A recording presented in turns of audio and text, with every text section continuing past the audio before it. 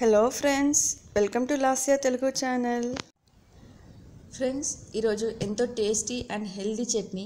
అల్లం చట్నీని ఎలా తయారు చేయాలో నేను మీకు చూపిస్తాను. ఈ చట్నీ ఇడ్లీకి కానీ దోశకి పెసరట్టుకి ఉత్తప్పంకి పర్ఫెక్ట్ అని చెప్పొచ్చు. అల్లం చట్నీ హెల్త్కి చాలా మంచిదండి ఎందుకంటే ఇందులో మనం అల్లము ఇంకా బెల్లం వాడాము. అల్లం అనేది మనకి వామిటింగ్ సెన్సేషన్ని తగ్గిస్తుంది. ఆథరైటిస్ పేషెంట్స్కి అయితే పర్ఫెక్ట్ అని చెప్పాలి. ఎందుకంటే అది మజిల్ పెయిన్ని తగ్గిస్తుంది. ఇంకా బెల్లం అనేది ఇమ్యూనిటీని పెంచుతుంది కాన్స్టిపేషన్ని తగ్గిస్తుంది. ఇంకా ఐరన్ కంటెంట్ ఉంటుంది కాబట్టి బ్లడ్ని కూడా ఇంప్రూవ్ చేస్తుంది. సో ఈ చట్నీ ఎలా తయారు చేయాలో చూద్దామా? వీటి కోసం రెండు టేబుల్ స్పూన్ల అల్లం ఒక టేబుల్ స్పూన్ వెల్లుల్లి ఒక టేబుల్ స్పూన్ ధనియాలు రెండు టేబుల్ స్పూన్ల శనగపప్పు మూడు టేబుల్ స్పూన్ల మినపప్పు మూడు టేబుల్ స్పూన్ల బెల్లం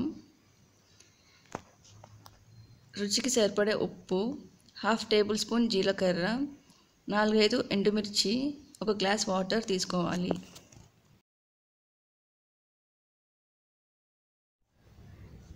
ఇంకా రెండు టేబుల్ స్పూన్ల ఆయిల్ కూడా తీసుకొని రెడీగా పెట్టుకోవాలి. ముందుగా స్టవ్ పైన ఒక ప్యాన్ పెట్టుకొని ప్యాన్ వేడెక్కాక ధనియాలు శనగపప్పు మినపప్పు వేసి త్వరగా వేయించుకోవాలి. ఇలా వేయించుకున్న పప్పులన్నిటిని ఒక ప్లేట్లోకి తీసుకొని చల్లారనివ్వండి. ఇప్పుడు అదే ప్యాన్లో ఒక హాఫ్ టేబుల్ స్పూన్ ఆయిల్ వేసుకోవాలి. ఆయిల్ వేడెక్కాక జీలకర్ర వేసుకొని ఫ్రై చేసుకోండి. జీలకర్ర ఫ్రై అయ్యాక అందులోకి ఎండుమిర్చి వెల్లుల్లి అల్లం వేసుకొని చక్కగా ఫ్రై చేసుకొని పెట్టుకోవాలి. ఇలా ఫ్రై అయ్యాక స్టవ్ ఆఫ్ చేసుకొని పక్కన పెట్టుకొని చల్లారనివ్వండి. ఒక రెండు నిమిషాల తర్వాత ఒక మిక్సీ జార్ తీసుకొని మనం ముందుగా వేయించుకున్న పప్పులు ఇంకా రుచికి సరిపడ ఉప్పు బెల్లం మనం ముందుగా వేయించి పెట్టుకున్న మిశ్రమాన్ని వేసుకొని ఫైన్ పౌడర్ లాగా చేసుకోవాలి.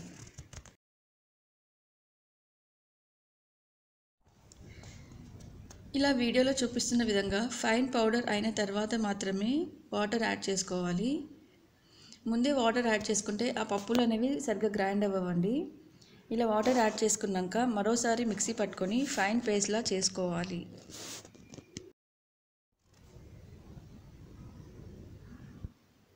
ఇప్పుడు చట్నీ రెడీ అయిపోయింది. ఇప్పుడు దీన్ని పోపు పెట్టుకోవాలి. పోపు కోసం కరివేపాకు ఎండుమిర్చి మినపప్పు శనగపప్పు జీలకర్ర ఆవాలు కొంచెం నూనె తీసుకోవాలి. ఇప్పుడు స్టవ్ పైన ఒక ప్యాన్ పెట్టుకొని హాఫ్ టేబుల్ స్పూన్ ఆయిల్ వేసుకోవాలి. ఆయిల్ వేడెక్కాక జీలకర్ర ఆవాలు శనగపప్పు మినప్పప్పు ఎండుమిర్చి కరివేపాకు వేసుకొని ఫ్రై చేసుకోండి. ఇలా చేసుకున్న పోపు మిశ్రమాన్ని మనం ముందుగా చేసి పెట్టుకున్న చట్నీలోకి వేసుకొని చక్కగా కలుపుకోవాలి. అంతే అండి. ఎంత టేస్టీగా ఉండే అల్లం చట్నీ రెడీ. కంపల్సరీ మీ ఇంట్లో కూడా ట్రై చేసి నా కామెంట్ బాక్స్లో కామెంట్ చేయండి ఎలా వచ్చిందనేది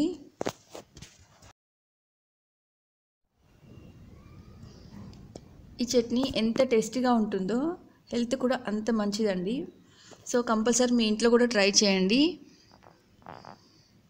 ఫ్రెండ్స్ నా ఈ వీడియో కనుక మీకు నచ్చితే ప్లీజ్ లైక్ చేయండి షేర్ చేయండి కమెంట్ చేయండి.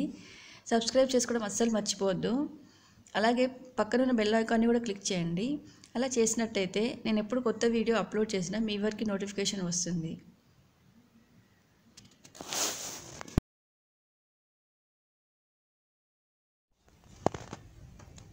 Okay friends thank you for watching.